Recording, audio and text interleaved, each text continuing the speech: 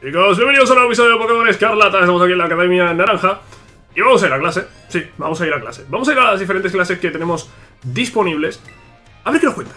A ver qué nos cuentan, tío. Estuvimos en la clase de matemáticas. Eh, vamos a volver ahí a la clase de matemáticas porque ent- entiendo que será como una segunda sesión, ¿no? Matemáticas 2, pues entiendo, que será la segunda clase de matemáticas.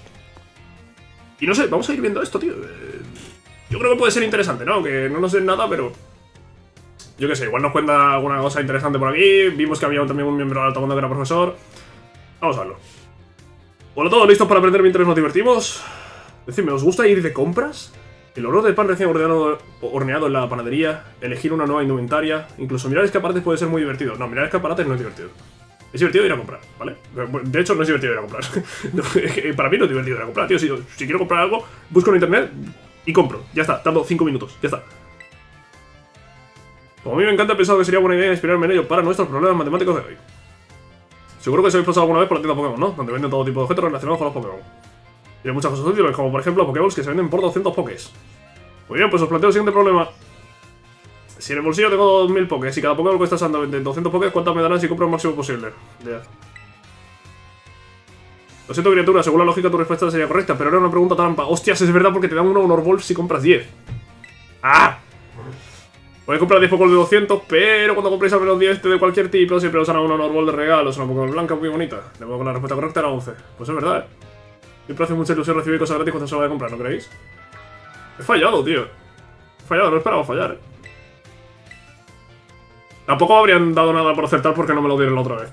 ¿Veis que esto es muy sencillito, eh? ¿He tardado o qué? Un minuto y medio he tardado en la clase. Vale.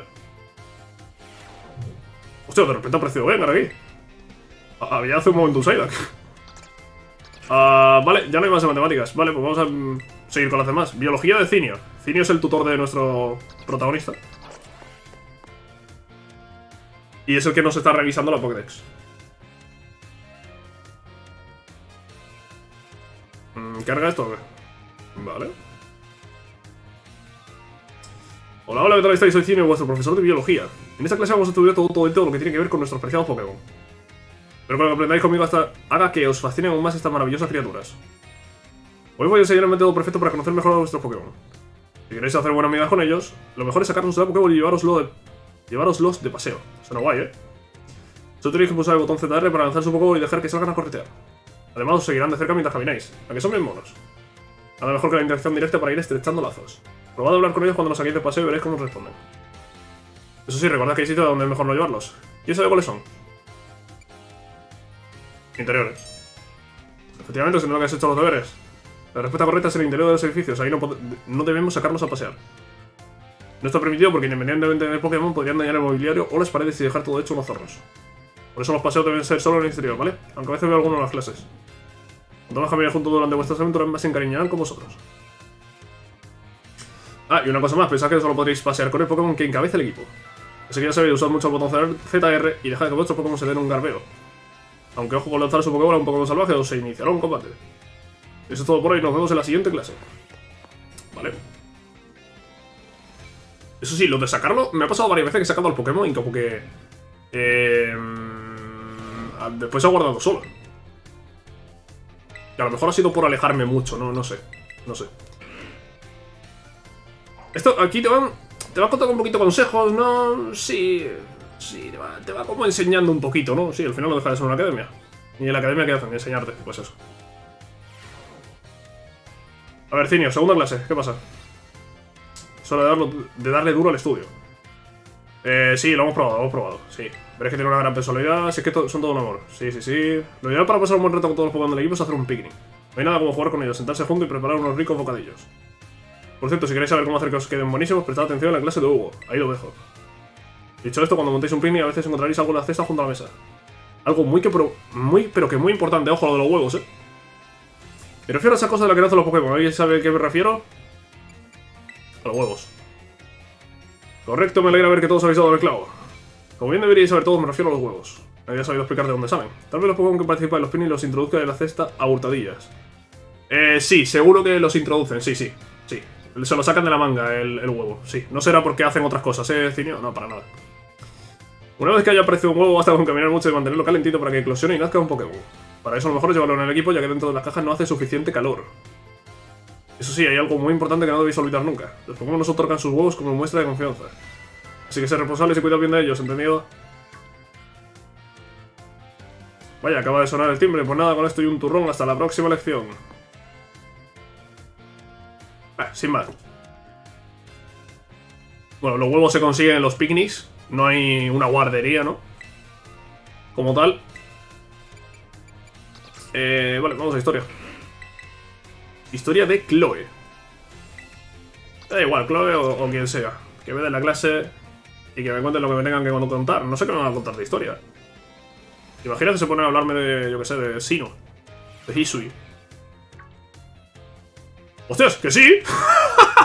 ¡Hostias, que sí! Que está el profesor Lavender. ¡Hostias, que sí, que sí! Y eso es... Sí, el monte ese tiene toda la pinta de que es el monte Corona.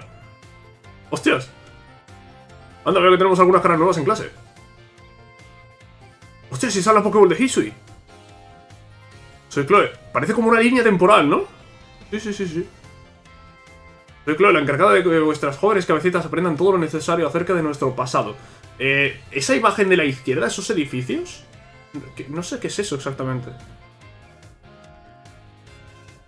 ¿Será Kalos en el pasado?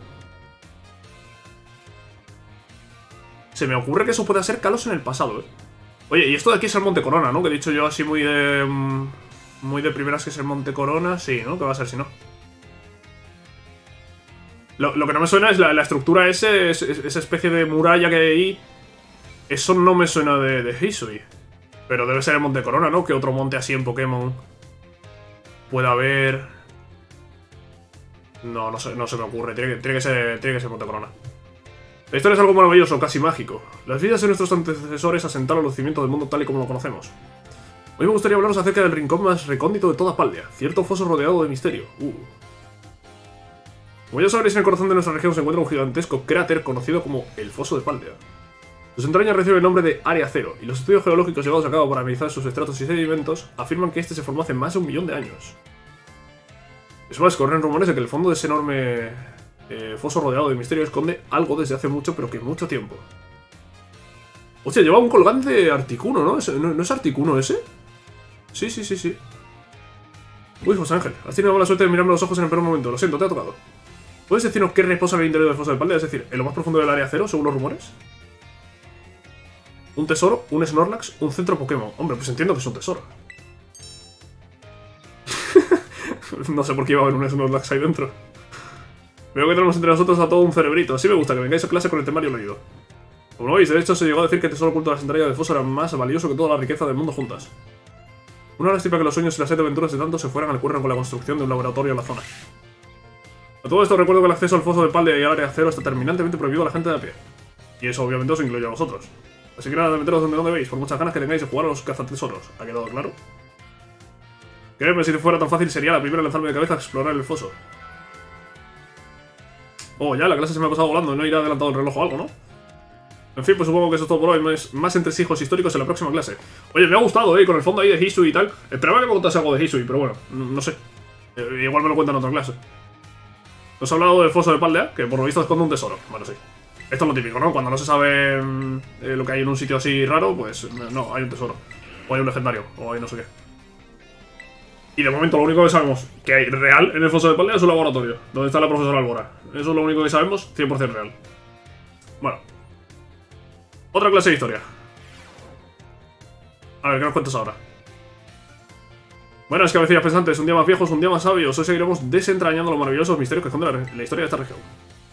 Hace unos 2000 años, el Imperio Paldeano logró tomar el control de esta tierra. ¿Cómo? ¿Qué no hemos hablado del Imperio Romano? ¿Cómo? Tenemos constancia de que el emperador de Paldea era una auténtica déspota. Y también sabemos que creía fervientemente que el tesoro cultural más profundo del área cero era real y no un simple cuento de viejas. No hay que olvidar que la gente de aquella época carecían de los medios que tenemos a nuestra disposición a día de hoy. En general, las civilizaciones antiguas eran más propensas que nosotros a creer en las leyendas, la magia e incluso en entidades que escapan al sentido común. El emperador, en su empeño por amasar el poder necesario para atajar amenazas allende sus fronteras, envió un sinfín de exploradores al área cero, en busca del famoso tesoro. Uy, José Ángel, nuestra mirada se ha cruzado justo en el peor momento. Lo siento, pero te ha vuelto a tocar. ¿Cuántos años han pasado desde que el Imperio Paldeano asumió el gobierno de estas tierras? Pero se lo he dicho antes, ¿no? Unos 2000. Me alegro que no solo te dar los libros, sino que también atiendes en clase, como debe ser. Hace ya más o menos dos, mil- dos milenios comenzó un pan de lo que acabaría bautizándose como la era dorada de las expediciones. Por desgracia no se tiene constancia de que ningún explorador imperial lograra llegar hasta las profundidades del área cero. Nadie sabe a ciencia cierta qué les ocurrió. ¿Caerían exhaustos tras la- inclemencia del viaje? ¿O tal vez fue de alguna criatura desconocida la que truncó su destino? Sea como fuere, las peligrosas expediciones del Imperio debieron de contribuir en gran medida a avivar la llama del misticismo que rodea al foso. No, lo que daría por viajar al pasado y explorar el área cero en su estado natural, antes de que la estropearan construyendo ese laboratorio. Esto no será un mensaje de que vamos a poder viajar al pasado a explorar el área cero, ¿no? Hmm. Ya va siendo hora de que alguien invente una máquina del tiempo, ¿no? ¿Cómo? Uy, uy, uy, uy, uy, uy, uy. Entre lo que hay de las formas paradoja y que me estés hablando ahora de esto, cuidado. Cuidado. Ups, mira que hora es, tanto por las ramas o será que las nacillas del reloj tenían prisa. En fin, pues eso es todo por hoy, más entresijos históricos en la próxima clase, vale. No va a haber próxima clase de momento, pero vale, interesante, ¿eh? Interesante esto del área cero, ¿eh? Muy interesante esto, y, y ha dejado caer lo de la máquina del tiempo, lo de visitar el, el área cero en su... En su eh, origen, ¿no? Cuidado, ¿eh? Cuidado con eso. Vale, clase de lingüística de Silvio. ¿Quién es Silvio? Preséntanos a Silvio. Venga, venga, vamos a empezar pronto. A ver, ¿quién es, quién es el, tío este? Silvio. Nos vamos a fumar todas las clases hoy. Hola, queridos alumnos, espero que estéis todos estupendamente. Pero bueno, ¿y la rayita esa que me lleva ahí al lado? Permitid que me presente, my name is Silvio. ¿Lo habéis entendido? My name is Silvio. Y veo muy atentos a lo que os respondo con un ferviente arigato.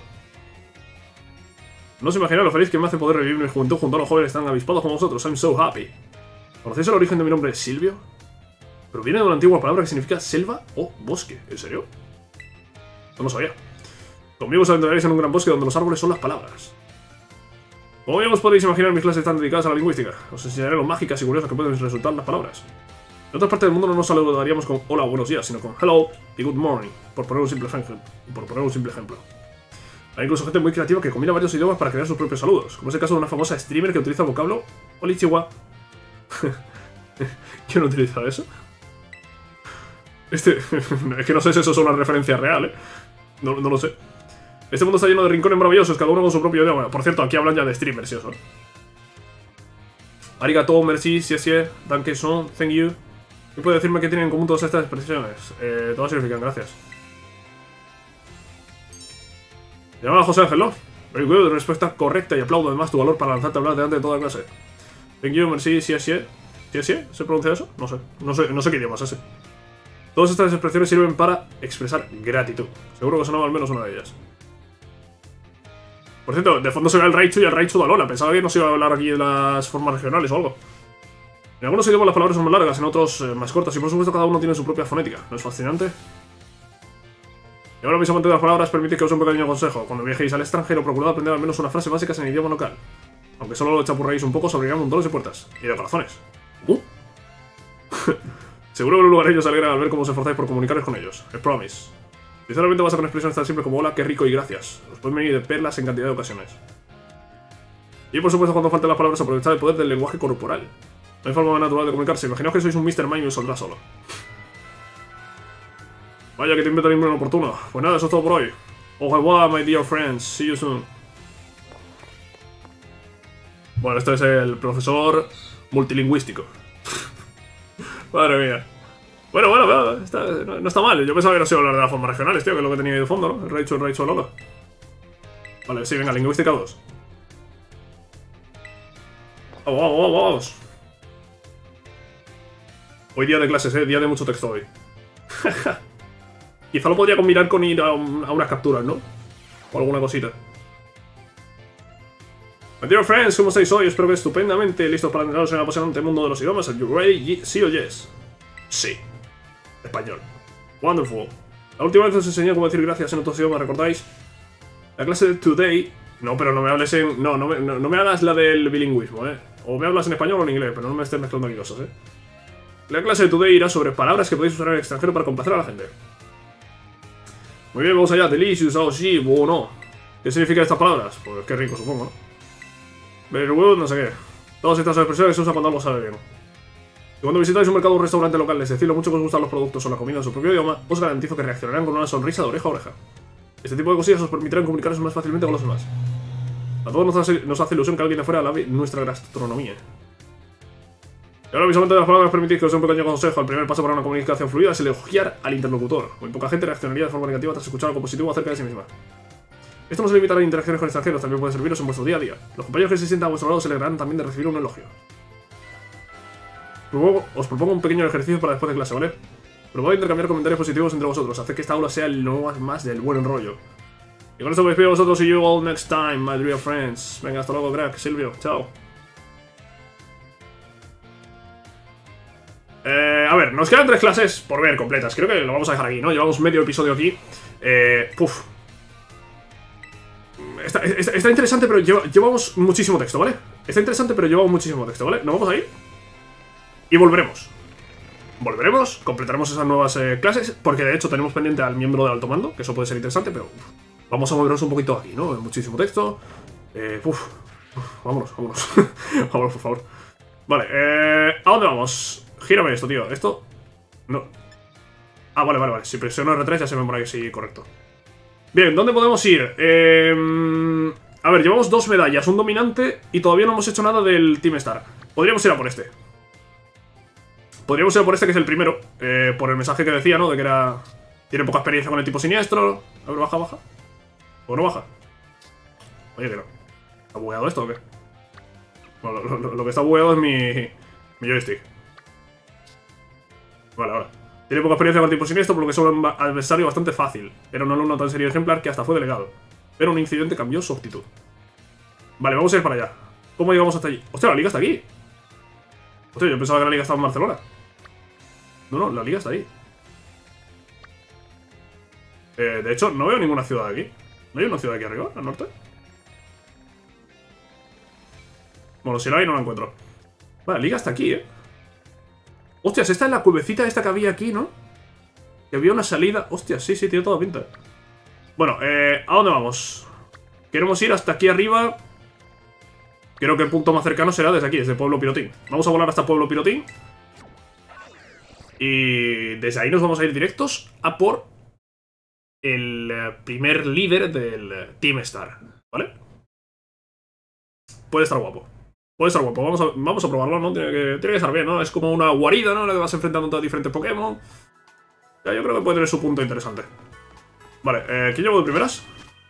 Flamigo. Venga, Flamigo. Sígueme. Vale, sígueme. Y nos vamos en esta dirección. Hay una incursión aquí. Ah, ¿veis? Eh, Claro, es que si me alejo mucho se acaba... Se guarda, tío. Se guarda solo.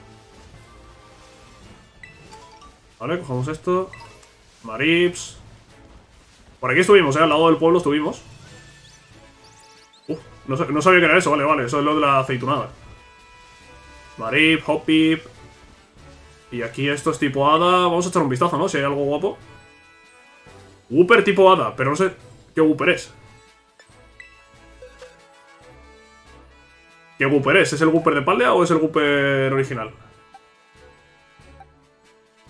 No lo sé, ¿vamos a ir a por él o qué? Es tipo hada, vale, ¿podemos ir con Cloud que tiene garra metal? Vamos a ir a por él, es nivel 1 esto. No sé si será el Wooper de Paldea o el Wooper original. Pero vamos a intentar atraparlo. Ya que estamos, ¿no? Nivel 1, facilito, no creo que perdamos mucho tiempo. A ver, a ver, a ver, a ver. Ahí estamos. Hola, Uber. Es el de Palea. Vale, es veneno tierra, pero tiene tipo hada. Sandile, Snorum, Cloud. No, Cloud es el mío y Magnemite. Vale, pues le vamos a pegar una garra metal que le va a dar duro, eh. Garra metal. Le va a pegar duro esto, eh. ¡Oh! Mitad de vida. Vale, ya está. Otro turno y está fuera. Me ha quitado un PS. vale. Oh, si casi se lo cargan los compañeros. Ya está. Uper fuera. Uper fuera. Uper de tipo hada, eh. De teratipo hada, mejor dicho. Vale, lo vamos a atrapar, nos va a soltar caramelito, nos va a soltar cosas que nos van a venir bien. Las incursiones, siempre que tengamos así alguna, tío, si no es muy difícil, las iremos haciendo, ¿no? A ver, no nos vamos a parar a hacer cuatro incursiones seguidas, pero sale esta, pues bueno, pues hacemos, ¿no? Lo hacemos. Vale, lo del tema clases y eso ya volveremos después de acabar por lo menos con el primer líder del Team Star. Vale, haremos el primer líder del Team Star y a lo mejor ya después de eso volvemos a las clases y hacemos hasta, hasta el punto que tengamos. Y hombre, ya las clases las iremos actualizando pues cada vez que aparezcan clases nuevas. Que parece que es cuando gano una medalla. Vale, por aquí, ¿qué, ¿Qué pasa? Eh, Wooper, sí, bueno, Wooper lo tenía ya registrado en Pokédex, vale. Eh, ese de ahí es Marip. Vale, ¿por dónde tengo que ir? No sé si puedo ir por aquí, ¿eh? He conseguido un montón. ¿Tú quieres combatir? Este es estudiante, ¿eh? Tiene ya una edad del hombre, pero, pero es estudiante. Con Flamingo. Vamos con Flamingo, tío. Si es que Flamingo es lo mejor que tengo ahora mismo. Me gustaría utilizar más al inicial, pero... Eh, hasta que no aprenda algo en condiciones. Estudiante Sergio te desafía. Tiene un Chief, tipo siniestro. Vale, le vamos a poder pegar muy duro. ¿Nivel? Vale, no me intimida. ¿Tiene intimidación el Pokémon este? No me suena que el mío tenga intimidación. Nivel 11, eh, estamos muy por encima. Esto no va a ser un problema. Un golpe, ok. Ya está. ¿Tiene algo más? No. Pues ya está. No me ha dado casi experiencia, pero bueno, por ir venciendo a todos los entrenadores. Eh, ¿Aquí seremos capaces de subir? Sí. ¡Eh! Joder. A ver, no he chocado del todo con el fletching. Voy a vencerlo. No por la experiencia, sino porque me da objetos y tal. Y puede que me sirva para algo. Pero futuro. Experiencia veis que no me da apenas. Eh, corpulencia. ¡Uh! Corpulencia para chetarse, ¿eh? Vale, eh, no está nada mal, ¿eh? Macuita, yo tengo ya alguno atrapado, ¿no? Sí. Opip. Y he llegado hasta aquí y aquí me quedo porque no puedo trepar. Por cierto, ¿cómo es para correr? ¿Qué he hecho? A ver. Ah, he sacado el Pokémon. Al Flamigo. Es que acabo de caer que había... ¡Eh! Un Gimme Hola. Tres moneditas. Eh, un segundo, a ver. Ábreme... No, la Pokédex no. Ábreme el mapa. ¿Dónde estoy? Estoy al lado del pueblo, vale. Pero por aquí no puedo ir. Por aquí no puedo ir. Tengo que ir... Eh... Tengo que ir por aquí por el río. Supongo que podré cruzar. Área 1 oeste, ¿este qué es? Inofensivo a distancia. Vale. Vale, yo creo que... Vale, me voy a marcar el punto este.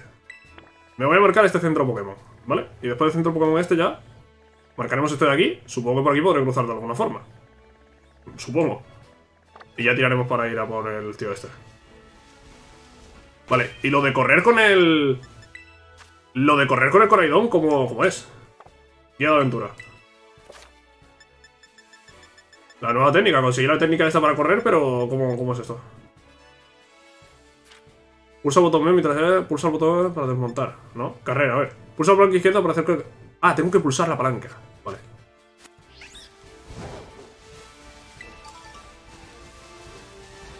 Vale, pero la tengo que llevar... Ah, vale, una vez la pulso ya va más rápido. Vale, vale, vale, vale, vale. Vale, sí, sí, se nota, eh, se nota que va más rápido. Eh, yo he visto aquí un objeto hace un momento.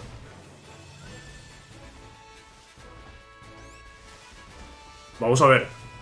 Yo no estoy loco. He visto, he visto la luz de una Pokémon aquí. Bueno, pues nada. Pues me voy.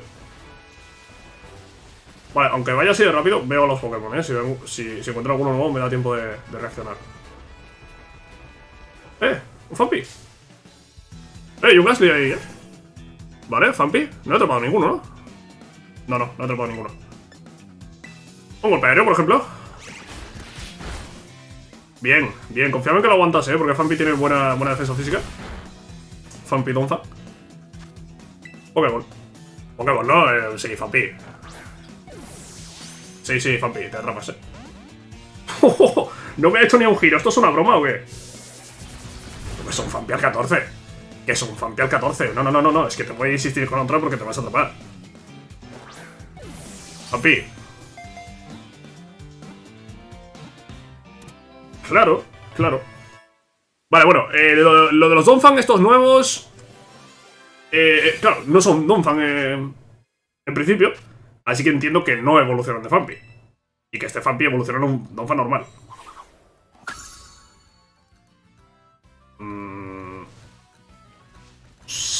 Vamos a pensar que sí.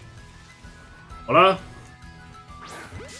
Hostia, ¿ha desaparecido? No, no, no, no, no ha desaparecido, no ha desaparecido. Se, había escondido ahí un poco, pero no, no. Eh, Gasly. Es que mira, Gasly yo creo que no hace falta ni bajarle la vida, la verdad. Gasly. Claro que sí, Gasly, joder. Vale, venga, Gasly atrapado, bien. Ahí está. Gasly mítico. Oye, Gasly con la tontería está prácticamente todo el juego de Pokémon, ¿eh? Porque en Espada y Escudo también estaba Gengar. supongo que está, está siempre, o casi siempre. A ti te voy a pegar una tremenda paliza, ¿verdad, amigo? Yo te conozco de la academia, eres el nuevo que acaba de mudarse a ¿verdad? Sí, soy el nuevo que acaba de mudarse a Paldea y te va a pegar una paliza tremenda, ¿eh? Let's eh... no sé, es que esto... Sí, sí, ataque rápido, ataca, ataca. Ataca, ataca. Adiós. ¿Tienes algo más? ¿Me, vas a complicar algo o, no? Luego por 24, no, se acabó. Pues ya está. Adiós, Alex. Hay un poco más ahí delante, ¿cuál es? ¿Qué es eso de ahí delante?